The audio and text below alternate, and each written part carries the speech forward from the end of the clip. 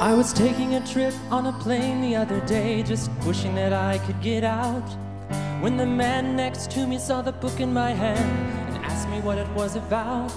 So I settled back in my seat, a bestseller, I said, a history and mystery in one.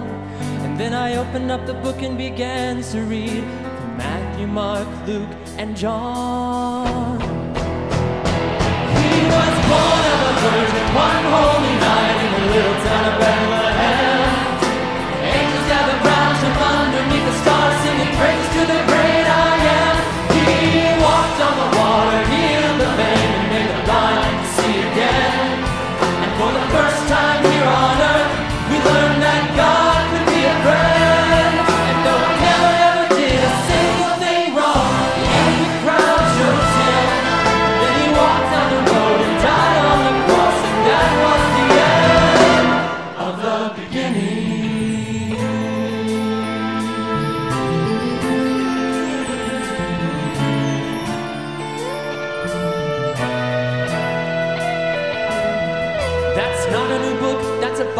Said, and I've heard it all before.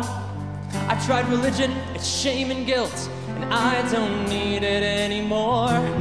It's superstition and made up tales, just to help the weak to survive. Let me read it again, I said, but listen closely, this is gonna change your life.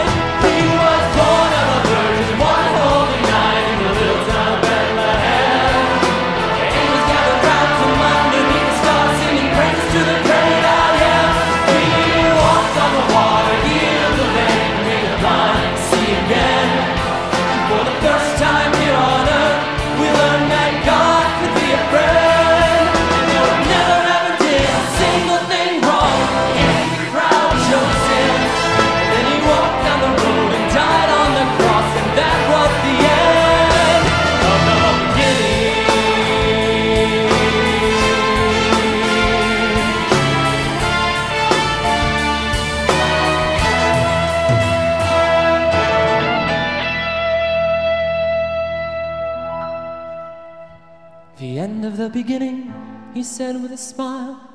What more could there be? He's dead. You said they hung him and put nails in his hands and a crown of thorns on his head. I said I'll read it again, but this time there's more, and I believe that this is true. His death wasn't the end, but the beginning of life that's completed in you. Don't you see? He did all this for you.